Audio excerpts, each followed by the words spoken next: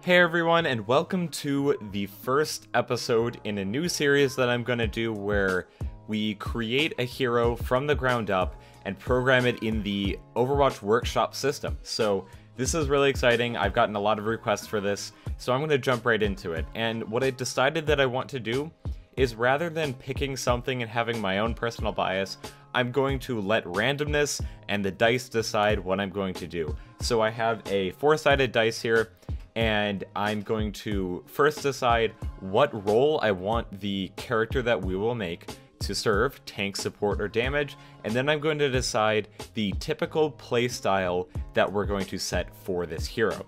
So if you're interested in following along with this, this will be a great tutorial for you to learn basically everything there is to know about the new workshop system. So stay tuned.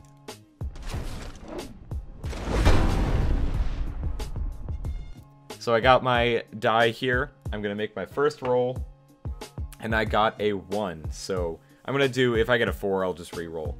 Um, so we are going to be doing a tank. I was hoping for not a tank, because I feel like tanks are hard because shields are hard to make in the system, but I feel like it's still possible. I just want to check that out. Um, next, for our playstyle, we're gonna roll again.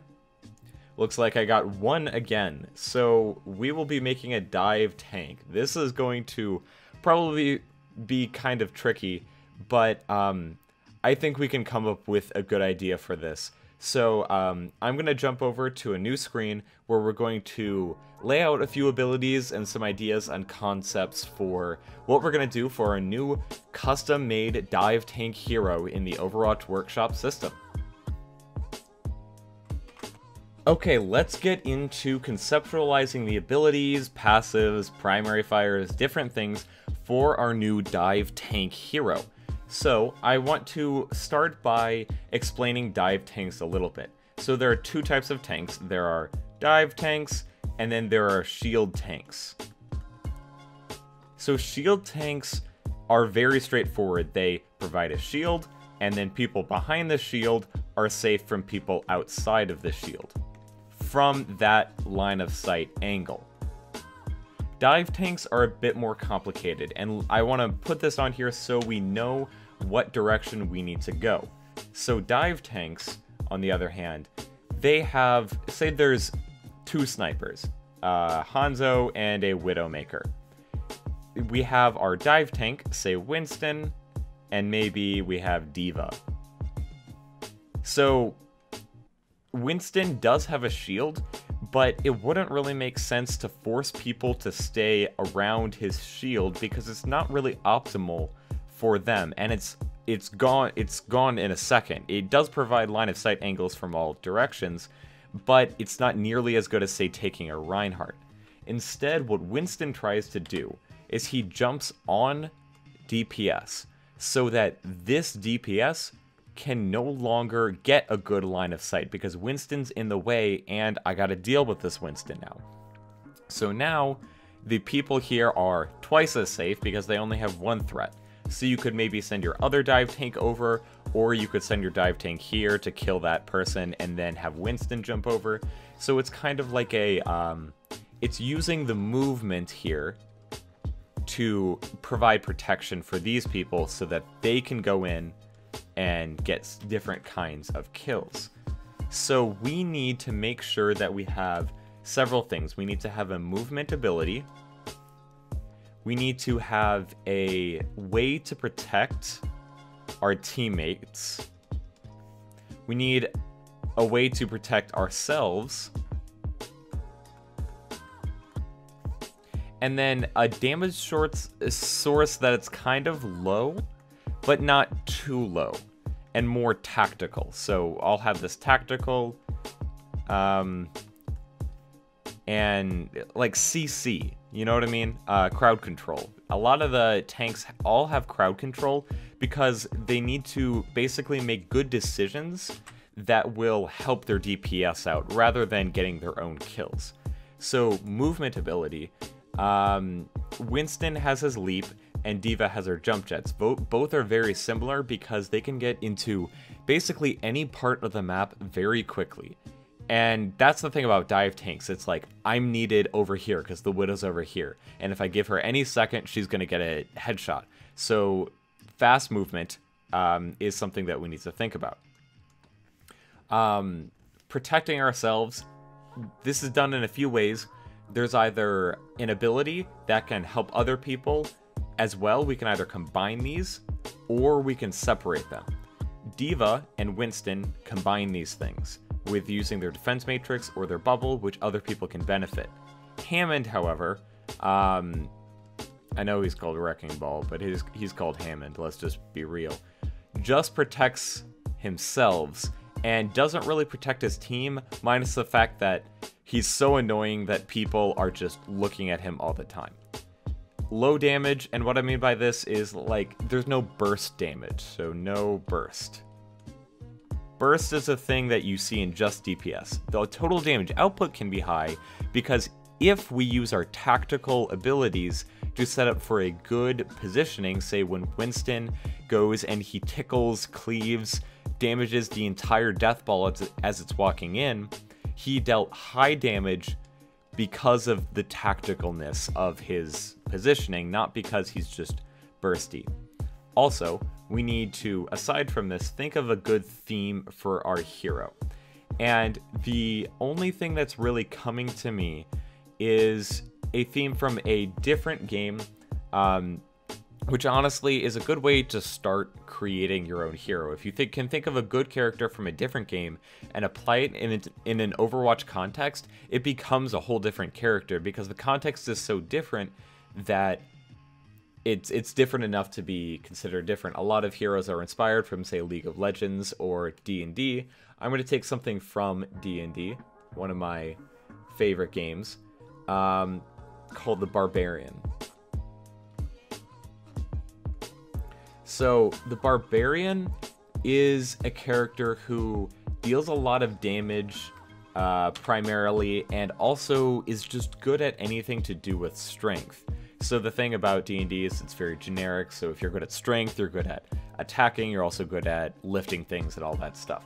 One thing that is very tactical for a barbarian who's very strengthy to do is grapple other enemy heroes or other en- or they're called monsters in D&D. And you can basically run up to the biggest monster and stop them from doing anything. Let's make a stop sign. Which is very tactical because now his damage is drastically lowered and you can kill off all the other tinier monsters and then go back to this guy and kill him as a team. That's a really cool idea because with Winston and D.Va, they primarily jump on squishy characters, but what if you could dive on a tank and restrain him temporarily so that you mess up that whole dynamic and then you can maybe get a few kills, put them out of position, and then clean up the tank at the end of the fight. So I kind of want our big ability protecting um, other people to be a grapple. We'll see if that works, see if it's too broken. We can always go back and rethink it. So going back to this idea that barbarians aren't seen to jump too far. I think sometimes in D&D you can make your barbarian fly, but I don't really want a flying Hulk. I kind of want a sprint type ability. I want it so that you can trigger an ability and maybe double your speed for a few seconds and you can just run through things and maybe push people back a little bit. So we have a little bit of CC as we run through, and we can just make a beeline towards any character that we want. So rather than leaping, we have sprinting. Um, protecting ourselves, because this isn't one of the D.Va Winston's um, abilities where we both benefit and the other team ben- or our team benefits from it. We need to have a way to protect ourselves. So we're going to need some sort of damage resistance somewhere. This can come from shields, but I kind of like the idea of base damage resistance. Kind of like that whole Roadhog type thing where it, it depends on like the design and the art of your character. Hammond gets shields because he's in a robot, but uh, Hog gets damage resistance because it's just him. He's just becoming more beefy temporarily, and that's that's character design. In in the end, they're almost the same thing. So low damage. I think I just want him to go around and slap things, or maybe have a hammer. But hammer is already in the game. Slapping is in the game with like Winston's ult, but it might be cool if our hero uses the Winston model, but you're just always ulting, but we like lower the damage and make our own abilities so that it's not like you're just always ulting. Um, tactical is with this grapple, with this CC, um, with the slap that maybe has a little bit of CC. So we got tactical, we got check on most things. So let's go through and fully define the different abilities we have. So I think we need a melee type thing. So we're just going to have our slap that, what does Reinhardt deal? He deals like 90 damage, right? And that's to any character around. So we might as well do something kind of similar. Let's go with 75 damage and it can cleave, meaning it can hit multiple targets in the same area. Secondary fire, I don't think I want anything yet. I might come back to that. Our ability 1, meaning our shift ability, if you're on PC, will be our sprint ability. And the details of that will be we maybe double our movement speed for four seconds. Why not? And then we ca could have clip booping. Like when you're charging as Reinhardt and you hit somebody but you don't pin them, you kind of send them flying a little bit. That seems pretty good. I don't want damage resistance here yet. I want to save that for um, maybe a passive ability. So we don't want to give him straight damage resistance because that would just be weird. We might as well just give him more health at that point. Um, but we need something. So I'm thinking... So I'm thinking we start simple. We already have some interesting abilities. We could do like a Berserker. Not like he deals more damage. I don't know what this is called, but um, Enrage or something like that, where uh, lower health, that's an arrow, equals higher damage resistance. And you might say, why not just give him more health? And the answer to that is you can be more resourceful with your health pool if you keep it low.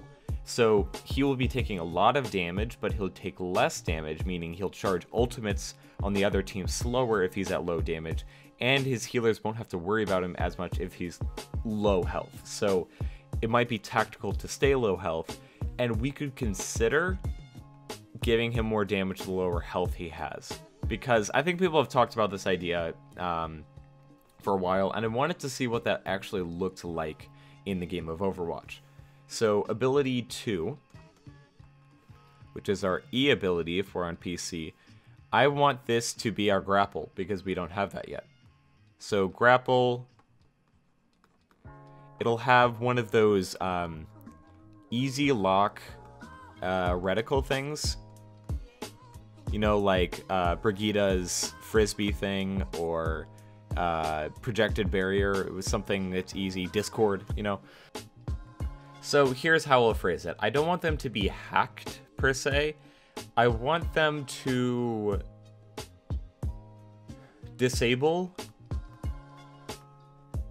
movement abilities, kind of like they're in Grav. And also they can't move, so no actual movement. So this is good because maybe you could headshot them from afar. Um, that could get really cool because it would give snipers like Baptiste, Soldier, and Widowmaker something to do at lower ranks because they're really popular at high ranks because people miss less often. But if you played around the style where like, okay, I'll go charge this guy and then just headshot him a few times, then it'll give something to do at low ranks. So we have our ultimate ability. This is your Q if you're on PC. Um, I have an idea for this. So when we look at this, this is giving me questions. Like, usually in Overwatch, you want to stay topped off. That's always kind of a thing because it it just makes your odds of winning better because there's so much burst damage. What if we had a failsafe for that where when you die, you can hit Q to res yourself with half health. This is kind of like relentless endurance from D&D. Um, so basically, it, will make you worry less about your health pool. You'll be like, I have my ult. I'm gonna go in, make sure I get this guy, and if I die, it'll be fine. I, I plan that to happen this fight. And that might be cool because this will become a scary tank where the playstyle, this is something you want to always consider, is um, it's kind of like I'm coming to get you and I'm not scared. So that in itself seems like a very scary tank that I don't want charging at me. So let's go ahead and jump into the workshop mode. I'll make this another video, so this is the end of this video, but we're gonna jump right in and we're gonna make this character. If you have any questions or you have any comments or you think I should make a quick change before I start making it, please leave it in the comment section below. I won't be making the character till probably tomorrow, so if you're quick to respond, um, please let me know. I also have a quick announcement before I leave. If anyone wants to help me playtest, if I get enough comments of people saying, I want to help playtest this character and help develop it, I will try and set something up, maybe a live stream, maybe a Discord, maybe just plan a time and then use it through the chat. But I'd like to see you guys help me out with this. So let me know in the comment section below. If you haven't already, please leave a like and a subscribe. It really helps me out. But until next time, thanks and have a great day.